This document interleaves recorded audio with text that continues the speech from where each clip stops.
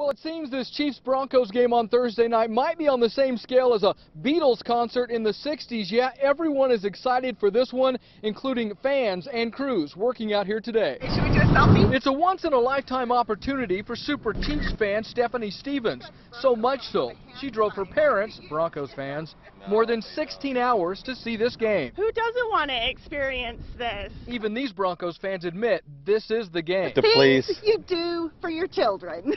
I want to see him win on my home turf. Don't we all? But there will be a lot of orange at this game out here in the parking lot. More than 6,000 orange cones lining the Truman Sports Complex for the anticipated sellout.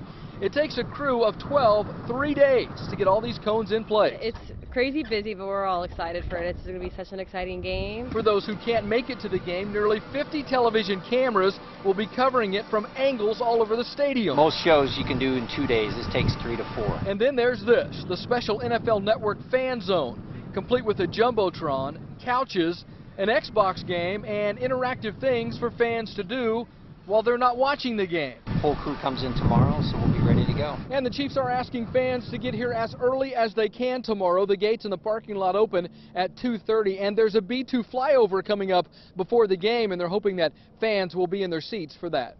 Reporting outside the Truman Sports Complex, Alan Shope, KMBC 9 News.